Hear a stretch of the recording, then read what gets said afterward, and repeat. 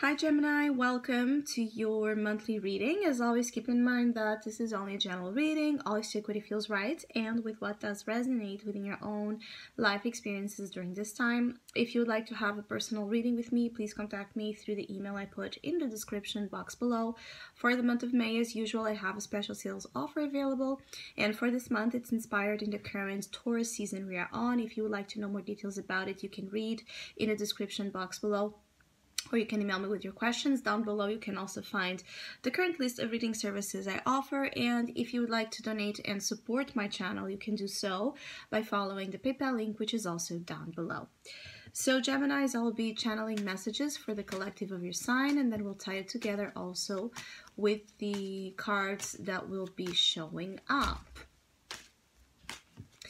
I do feel like May can be like a very interesting resting phase, resting period for many of you. It's like you want to take this month to reflect, uh, to think, you know, deeper about things that throughout the busyness of the other months you were not able to pick on, to really think, to really put your mind at it, and um, be in this very investigate investigative uh, mode about it. So I feel like one of the first messages about taking a break and using that break to your advantage. It's not like you're taking, you know, a break or using more of the slow time to do nothing at all. I actually feel like you have a lot going on behind the scenes that you're kind of concerned about. So I feel like you're wondering what's the next move that you should have what's the best idea, project, you know, opportunity that you're going to attract and manifest into your life. What's the big next adventure, you know, step that you're going to take that you feel like is a level up for your life. Again, this is all about your personal chances in particular. What you're going to do for yourself ahead is quite important at the same time, I feel like even though you're hiding here a little bit, I feel like you're extremely magnetic. So there's a magnetism about you and about how you can allure contacts, resources, people to you um, that can, you know, add in this process of finding, you know, where you should be heading. But I feel like it's a little bit tricky for some of you to trust or to even, you know, put in considerations the input of other other other influences that not your own. And so there's a little bit of a tug of war because in one hand there's a part of you that feels like it needs it and another part of you that resists it. And while you're taking this break or while you know things are a little bit slower um, i feel like it's also to consider what kind of resistance you need to work on in order to get things to actually happen much smoother, much faster, much better, even for some of you. Um, that still places you here in a very, very, very favorable position. So, your status, your influence, your name, your reputation, your brand, what you make for yourself is a big theme. I, I also feel like you're quite um, private about something. Maybe you're hiding here something or you want something to be, you know, hidden for the time being, like a truth, um, or even something you're working on.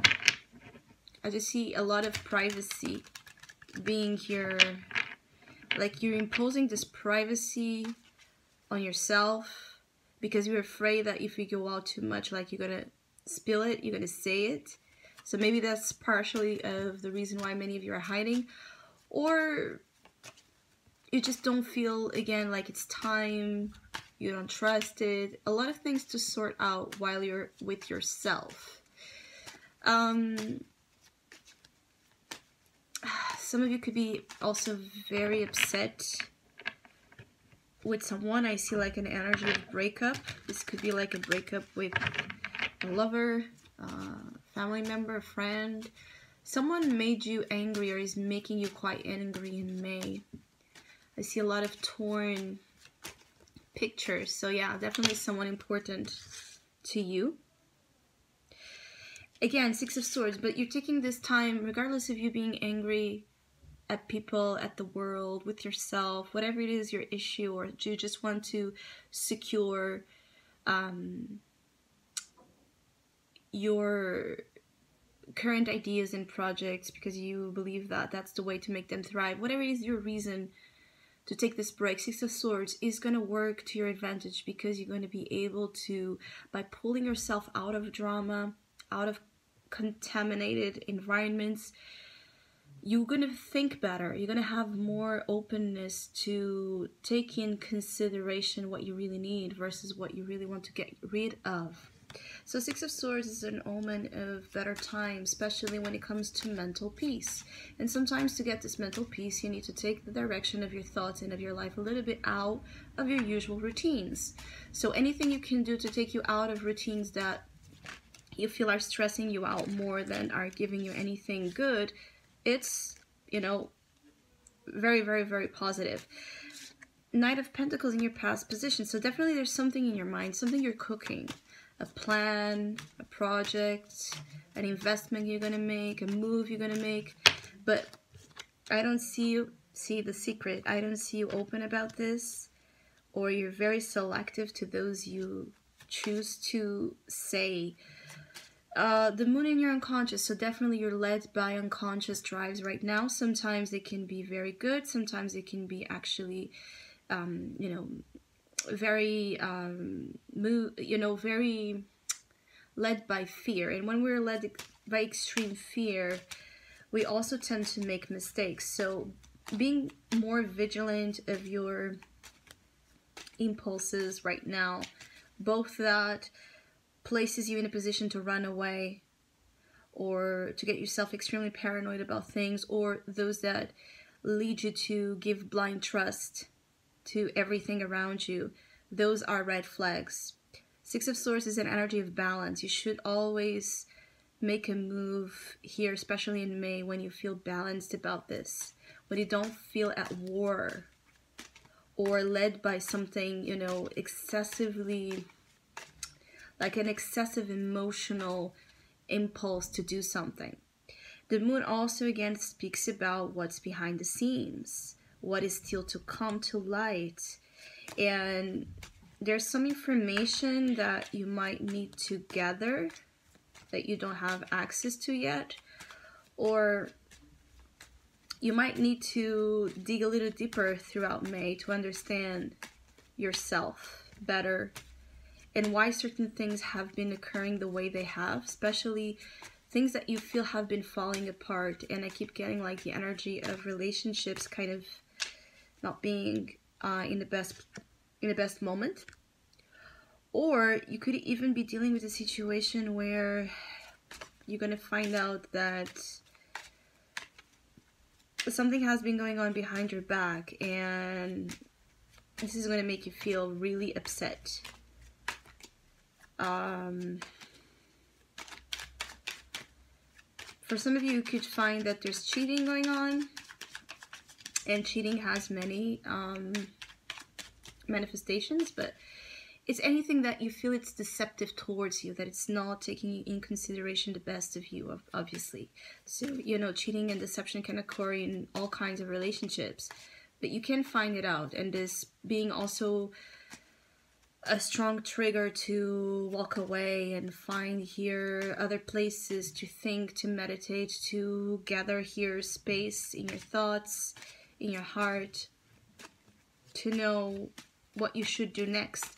You could also be just, you know, being given here information and now you're like, okay, what am I going to do with this? And taking this time to think about it. You want to be wise and smart. Again, because you want to be on top. You don't want to have... If this is a secret also that involves you,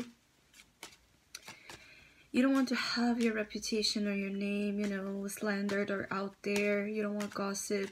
So you might be also taking a moment here to think how you're going to be dealing with something. Because there's a deep fear that it's going to come out for some of you. Or you're involved in it regardless and you're going to have to fight for your version of the facts, your version of things. A little bit of tricky energy here. Many of you are dealing with. Um,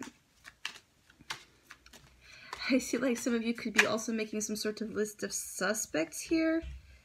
So it's an interesting energy. I feel like you're really, again, in that vigilant mode, investigation mode. So if there's any kind of intrigue, drama going on in your life, for many of you, there will be. You also just secretly making kind of a list of, facts, of events, of um, you know what you know to be true about people, to understand who's your enemy and who's your friend. Seven of Wands, yeah. You're gonna fight for something. At the end of this process, you're gonna be coming out of it strong, but in a need to fight. Fight for your truth, fight for your rights, fight for your name out there. I keep getting the name being a big theme here. The, the moon sometimes can reveal situations of uh, of of theft theft I, I think I'm saying it right so you can find that someone has been you know using your name for something using your information your data um, there can be here like issues of uh, someone using your identity for their you know for their deceptive ways for their crimes and you can be suddenly see yourself involved in this drama. Yeah. Death well the quality of what happens right now inside and out is extremely transformative for Geminis so it's not the most light-hearted moments, but it's quite necessary here because and here the energy of the breakup. I feel like there's going to be like this very important breakup, separation, cut with an energy and influence, a relationship that has been really toxic or really uh, in full disalignment with your path with what you want to do. And it might take something quite extreme here to happen, a quite, you know, shocking to happen for you to have that realization or for you to fight for something you should already been been have been fighting for but it could also be that um, because it's here your psyche that's being extremely effect affected. You're finding out that there's something like an imprint, a trauma, a belief that has been what is kind of holding you back for a long time from placing yourself right out there and not giving up the fights when they get tough. I feel like there has been a tendency to give up your dreams, to give up your your right to fight, your right to be, um, to own up to your to your creations. And this is also what is shifting ahead for you is the way in which you place yourself within your own life and the right you have to do it. So I hope you have a great month. Hopefully, we'll see each other soon.